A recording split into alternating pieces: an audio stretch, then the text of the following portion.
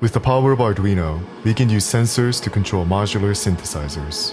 One reason for doing so is to create a custom musical controller that allows us to perform with dynamic movements. We can design something that is not confined into a specific HP size like most commercial controller modules. Another reason is to experiment controlling modular synth with unusual methods. For example, we can control synth parameters using light and even its color.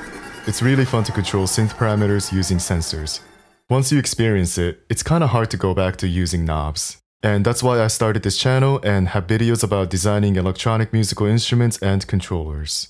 And I would love to see you create your own one-of-a-kind musical controller for modular synth. And here's a quick disclaimer if you're interested in trying this. I'm putting this up mainly because modular synthesizers can be quite expensive. Okay, this video is actually a continuation from the last video, where we talked about how we can use this very affordable DAC and output 4 separate control voltages using Arduino.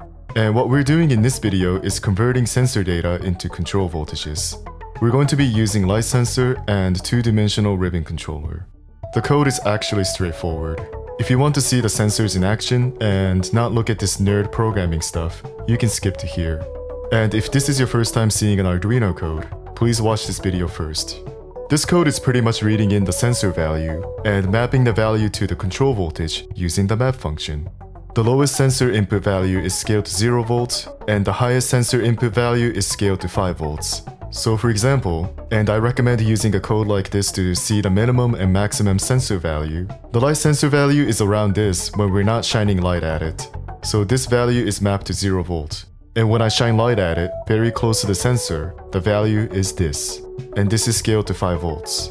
The code obviously should be a bit more optimized than this, but it depends on your project so I can't really provide you with the best possible code that fulfills everyone's need. And this is the code for the ribbon controller. Okay, let's see this code in action.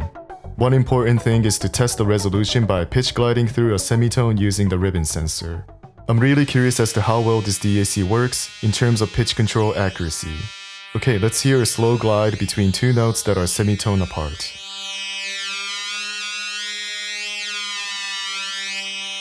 Hey, I think it sounds great. As we can tell, it's very sensitive. Slight movement will change the pitch. And the code is not even optimized that much, so we can get a lot out of this sensor by programming more.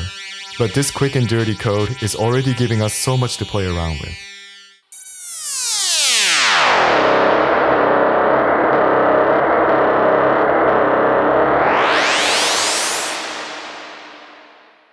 Okay, let's control a granular synth using light. So this sensor is mapped to the grain size, and this sensor is mapped to the sample position. And we can tilt the light source and be able to control two parameters at once. Okay, let's hear it in action.